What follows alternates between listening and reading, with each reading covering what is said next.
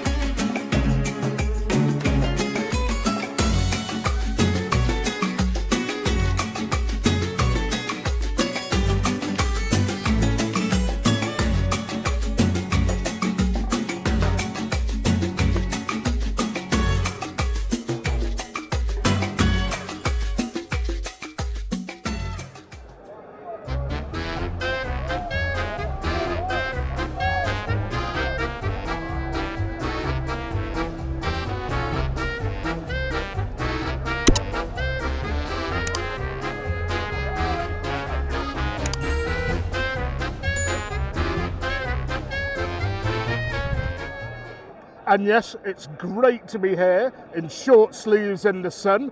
I've not been in the UK for a week, but I believe it's pretty grim over there at the moment with a storm raging.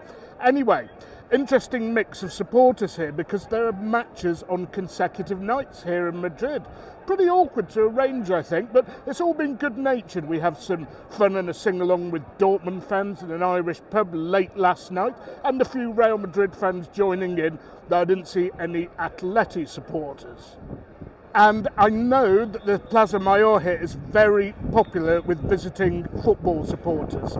It does seem as if there's a policeman nearly for every visiting supporter. But I have to say that this, in terms of drinking and being boisterous and singing and chanting, is a very good place to go. But in terms of the quality and price of the food and drink that you get, it is absolutely not the best place. So I'm going to head off for the food segment in the very, very nearby Calle Cava Baja. And if you're an away fan visiting Madrid, I'd recommend you do the same. I better dash because most of the best places close at four. I did this trip a few years ago. In fact, I come here every year. But I have highlighted how close this street is. But for those of you who didn't see it, I'll do another little time lapse video and walk with you to the street where all the good tapas bars are. And before we do go on our little walk, I should also mention that both this place and the really nice covered gourmet market, the Mercado de San Miguel, which is the other side of the square, are crawling with pickpockets. I nearly got done two years ago. Football fans who are half drunk are very rich pickings, so be very careful if you're in either of these two locations, especially if you have your back to what's going on and you're trying to get a drink at a bar. They operate in teams and they actually creep up on you without you noticing. And even a barman who's standing on the other side of the bar who should tell you what's going on, they never seem to do so. Also, a threat from the Islamic State against all four quarterfinals. I don't think that's going to pass because I don't think they'd warn about it. And most of their finance goes through the Gulf, particularly Qatar. So I would have thought that the UAE and Qatar, who have skin in this game, would have enough influence to call those dogs off. I'm not saying they're directly controlled by those countries, but a lot of their finances are routed through them. Let's head off for some food, Muttonistas.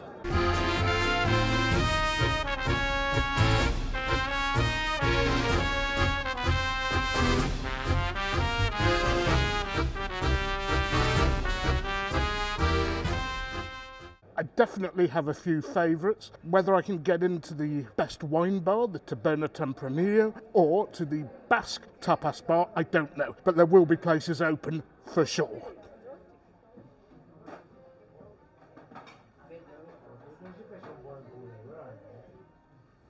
So, the place I've ended up at Lamiak. It's a Basque pincho or tapas bar, and it's somewhere that I've been to very briefly when I run my excursion here and got to taste a little bit of the food. But for once, I can sit back and relax. Starting with cava before I order the food. And I can pronounce myself match fit. Come on, City. And in this sunny weather, Muttonistas, it is thirsty work. This is how they touched the sides of the glass. Anyway, I'm mainly going to have red wine. And they had five by the glass, three euros ten each. Not bad value at all. Not sure about some of them, so I'm going to get to taste the Navarra. If I don't like it, I'll play safe and go with the Ribera del Duero, which most visitors to Spain, along with Rioja, have had a million times before.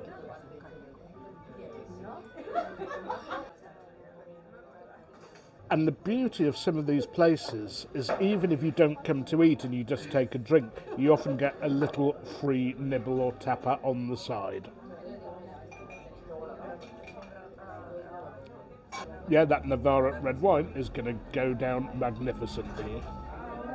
Right, Muttonistas, the food has arrived and so has a surprise guest. Now, those of you who watch city vlogs frequently might have come across this guy, James from JSM44. And James doesn't normally partake in these food segments, but I've twisted his arm today. Okay, I'm ready for this. Um, the food looks fantastic, and as a true Muttonista myself, I'm ready for this. This is going to be fun. James has gone for the local beer Mahou, and our first plate of many has arrived. I'm not sure James is used to eating this much mutton style, but we have Iberian ham, the best ham that the world can possibly offer. Usually cured in Salamanca or Extremadura or Seville and Andalusia. Okay, muttonistas? Toasted bread dipped in the tomato relish, which is not sweet at all. It really is just tomatoes and olive oil. And it took me years and years to realise that in Spain, when you order a plate of ham, you eat it with your hands. I, So, I, uh, I didn't know that, Yeah. so I'm just going to dig in like Yeah, an absolute yeah, go on, Right, yeah. here we go. I'm just going for it. I'm just going for it. I eat it over the plate. Oh wow. Oh yeah. Spot on that. Really good. Proper Madrid ham. Yeah, those rich streaks of fat, very important. Don't trim them off. If you don't like the idea of eating it, order something else. Moist, flavoursome, fat adds so much flavour to it. And I thought for a second there was an emergency that I'd run out of wine. But whilst I was filming, by magic, the waiter came and topped me up.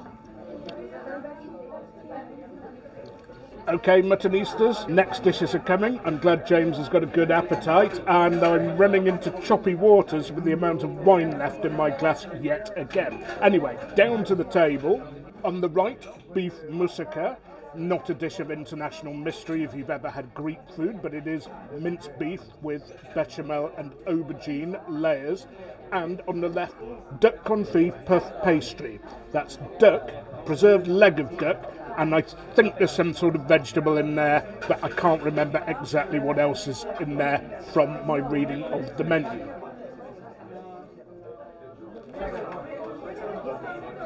Okay, muttonistas, the dishes are flying out, and I dropped a little bollock there. I haven't actually tasted them yet. That is apparently the lasagna, that is, and the moussaka is on the left. Sometimes they do look very similar. We also have octopus carpaccio and a bed of mashed potato and paprika and olive oil. And finally, we have the chicken breast with tortilla cheese, mustard, and some smoked ham on a piece of bread, a typical Basque pincho. Okay, duck first. Beautiful. It's in puff pastry, a lighter version of the pastry that you'd see on a Galician empanada, but otherwise it's very, very similar. And whilst there's no vegetable in there, there are some mushrooms. Anyway, quick slurp to cleanse the palate before we move on to the lasagna. And as stated on the menu, even though I didn't mention it to you previously, there is spinach in the lasagna, which is a slightly unusual addition. Although, don't forget, Italian cannelloni traditionally has spinach in the inside. Very well made bechamel sauce. Right, Muttonistas, on to the octopus. There's a very, very famous Galician octopus dish called pulpo a la gallega, and this is a bit of a play on that. However, it's usually cooked octopus with the same seasoning of paprika and olive oil on a bed of boiled potatoes. This is on mashed potato, and I have no idea whether the octopus, being a carpaccio, is hot or cold it's warmed a little, but it is a delicious creation. If you're into your squid, and I've forgotten the name for these things squid, cuttlefish, octopus this is probably the best dish that Spain has to offer from that group of shells. And now the moussaka, which I got mixed up before. Mmm. Yeah very, very tasty. I thought this was normally made with lamb, but they said it's made with beef here. I guess you can substitute them. And another interesting twist is that the aubergine is pureed. Very nice combination. And finally, the chicken breast, something I don't order very often, but the combination of tortilla cheese, which I've had in Spanish scrambled egg creations a few times, and smoked ham did it for me. Yeah, that's lovely, very tasty, and it's typical of the style of Basque tapas called pinchos, served on a piece of bread. This is a Basque restaurant, after all, and there are places both here in Madrid and in the Basque country where you can make a meal of just going from bar to bar to bar, having one drink and a little pincho. A little bit of mild mustard on top, and Robert is your uncle. Anyway, Muttonistas, another quick slurp. And we will get on with this. And it's quite possible that I will have another glass of this. I think I need a top up as well. Exactly, I wholesomely agree. Yeah. And we'll be back shortly where I asked James which his favourite tapa was.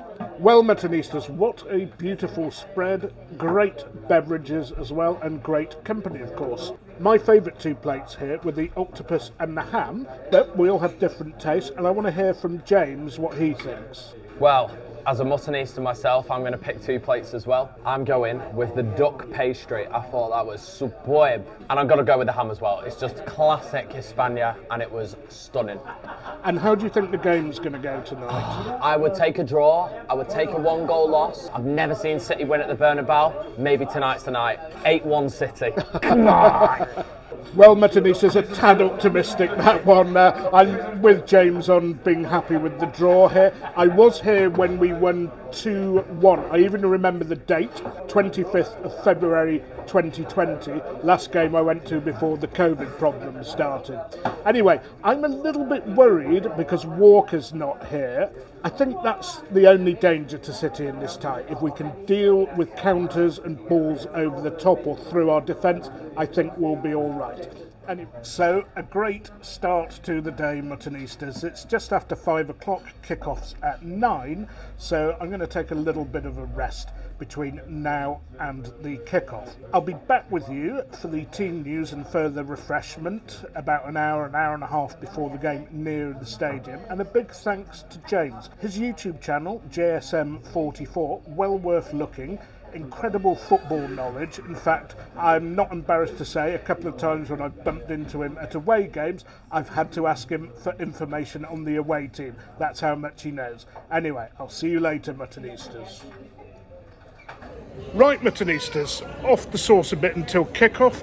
And given I'm in this part of the world, I'm going to go for what for me is the best shave you can get anywhere at the Kinze de Cuchilleros, my favourite barbers. Okay, in and out quickly, pretty close shave, great atmosphere and a great chat with the barber and the barbers. Off to the hotel now to dump my microphone case, charge the battery a bit, then straight off to the ground. See you then, Muttonistas.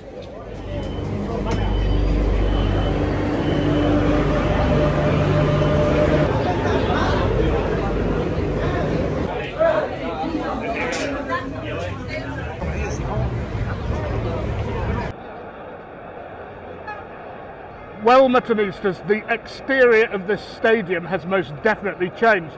I wouldn't expect the interior to be massively different. I do hope we go through the same entrance. And I also hope that those little bars around the side of the stadium are still there so I can bring you the team news over a quick slurp. Okay, Muttonistas only 25 minutes before the game starts, so I've possibly gone a bit over the top here, and I'll only drink one of these two fairly large beers. Anyway, team news out, and Real Madrid, as, as you'd expect, their top goalkeeper Courtois is still out, and Alaba is still out. Otherwise, they've got their strongest 11 out. For City, though, Guardiola has gone very, very cautious, in my opinion. At the back, he's gone for experience of Gvardiol, Ruben Dias, Manuel Akanji, and Johnny Stones. In midfield, Rodri, but with Kovacic.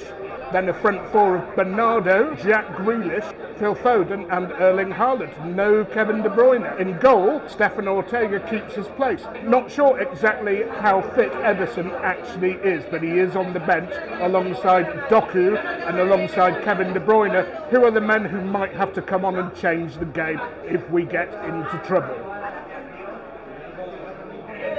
Anyway, I do share Guardiola's view here that City just need to avoid a disaster here. I think even a one goal defeat wouldn't be too bad. In fact, I was looking earlier to see when we lost last by two goals, and it's a long, long time ago. I think it was a League Cup game against Southampton a year and a bit ago, which was a mess because we were playing all sorts of people in experimental positions. So I think two years ago, the 3 1 in extra time really was the last time that we lost by two goals. So reasons to be confident for City, but not too much because Real Madrid are a very, very tricky opponent and they have that pace, and we don't have Walker. A lot of friendly Real Madrid fans here. I've never had a problem wearing my top and wearing colours, so I'm going to stick anyway with my prediction of a one-all draw tonight. Come on, City.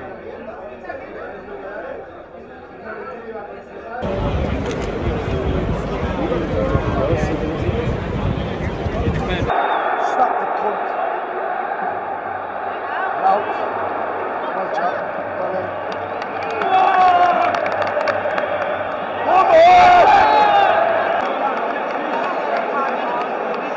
We shouldn't be intimidated by the atmosphere because they've been here and done it before. Come on, City. And a brave referee has given Real Madrid a yellow card within the first three minutes. Oh, City!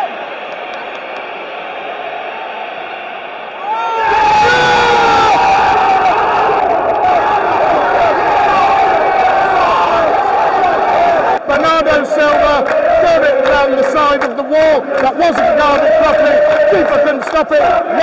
1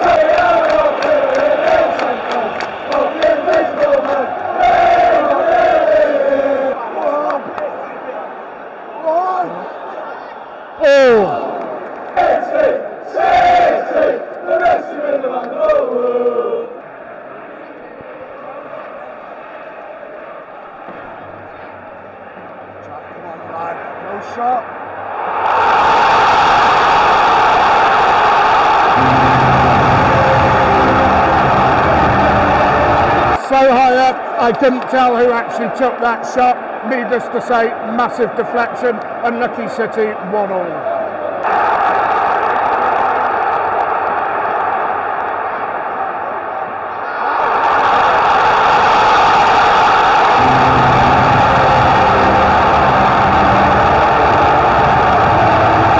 Ah, dear, this is really turning sour. This is what on earth happened there. I did warn that without Kyle Walker, this was a risk. Although I do think that we got back in position. So how Rodrygo got that toe poke that dribbled into the corner in, I have no idea. Come on, City, get a grip. Oh, fucking hell.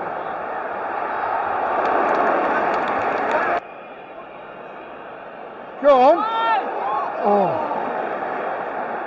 Fuck's sake. Oh, stop him from t- Oh, shit.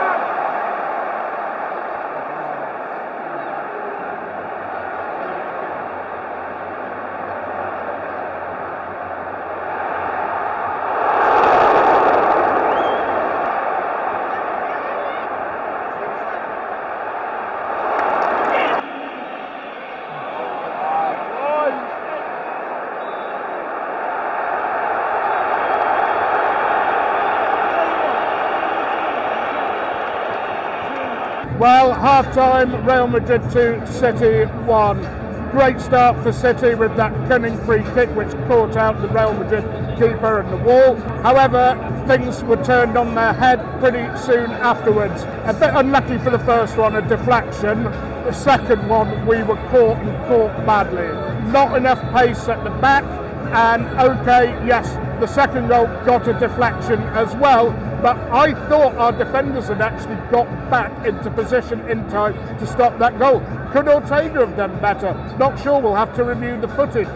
Anyway, we've had a couple of other situations where they've broken on us. We've got to be careful there. 2 1 isn't so bad if this is how it stays. I don't see why we couldn't score in the second half, but we do not want to go back to the Etihad with a two or even three goal defeat here. So let's hope Guardiola sorts it out in the second half because we've had some promising positions going forward, but no final ball and a reluctance to play anything at all adventurous. Some slop in possession, Bernardo in particular a couple of times, Erling Haaland some pretty iffy control. Rudiger's winning that battle, he can't turn him when the ball goes long. So I think a little tactical rethink is required. But okay, I'm just a punter who goes to games. I'm nothing of the quality of Guardiola when it comes to tactics, but if you're going to go a bit cautious, wouldn't you play Alvarez instead of Haaland in this game? Because Haaland, unless chances are being laid on for him, doesn't do a lot. I suppose the good thing is, anything he does do will be at the end of the stadium I'm at, and I'm hoping to see a City goal in the second half. Unfortunately, at this point, I turned off my microphones to preserve power because one of them had failed and I was on my reserve microphone. So I do apologise about this, but I'm just going to have to bring you the highlights of the second half without sound. Still, you'll get a gist of how good the goals are and the reactions of the crowd.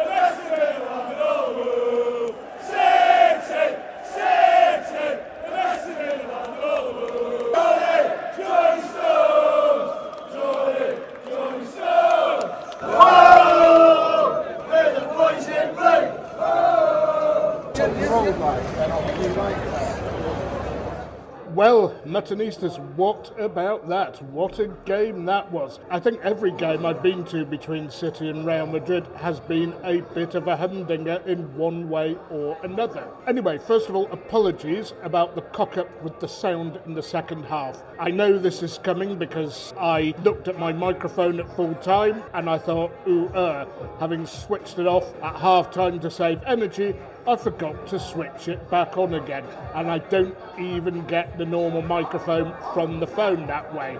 If only I'd have realised that, say, 10 minutes in. Anyway, nothing I can do about that now, except for bring you a little more food and drink and my two penneth about how the game went. As always, a little something to go with the drink that you order in northern Spain and central Spain a glass of Ribera del Duero, and it's very reasonable, and again, only three euros ten.